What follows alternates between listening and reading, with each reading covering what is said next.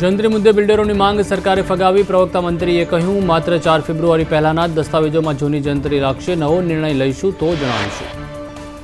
કેબિનેટની બેઠકમાં પેપરકાંડ મુદ્દે ચર્ચા થઈ. પરીક્ષા ટૂંક સમયમાં લેવામાં આવશે. સાથે જ પેપર લીકને લઈને કડક કાયદો લગાવવામાં આવશે.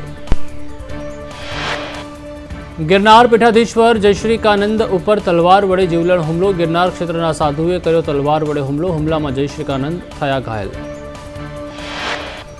પૂર્વ મંત્રી ગજેન્દ્રસિંહ પરમારે આગોતરા જામીન માટે કરેલી અરજી મામલે તેમને આંશિક રાહત મળી. સત્તર ફેબ્રુઆરી સુધી ધરપકડ પર કોર્ટે મનાઈ હુકમ ફરમાવ્યો. ગ્રીન વેરાવળ પ્રોજેક્ટ પર હાઈકોર્ટે સ્ટે મૂક્યો. એક સાથે સાતસોથી વધુ વૃક્ષોના સત્તાધીશો દ્વારા કાપી નાખતા કોર્ટે નારાજગી વ્યક્ત કરી. ટેકાના ભાવે ખરીદી માટે રજીસ્ટ્રેશન પ્રક્રિયા. ચણાની ખરીદી માટે એક લાખ ખેડૂતોએ કર્યું રજીસ્ટ્રેશન. તુવેરની ખરીદી માટે બારસો ખેડૂતોએ કરાવ્યું રજીસ્ટ્રેશન. ધારાસભ્ય વિમલ ચુડાસમા મારામારીના કેસમાં દોષિત. બે હજાર દસમાં મિત વૈદ્ય અને અન્ય લોકો પર કરેલા હુમલા મુદ્દે માળિયાહાટીના કોર્ટે ચુડાસમાને દોષિત જાહેર કર્યા.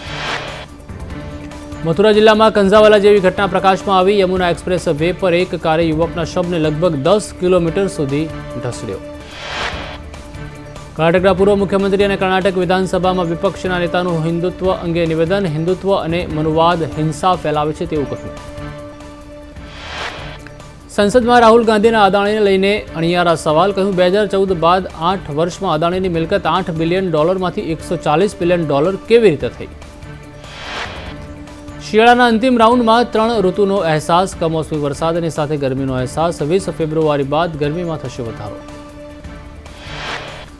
તુર્કી અને સિરિયામાં આવેલા ભયાનક ભૂકંપથી મૃત્યુઆંક પાંચ હજારને પાર પહોંચ્યો. તુર્કીમાં સાત દિવસનો રાષ્ટ્રીય શોક જાહેર, દસ શહેરોમાં હજુ પણ અનેક લોકો કાટમાળ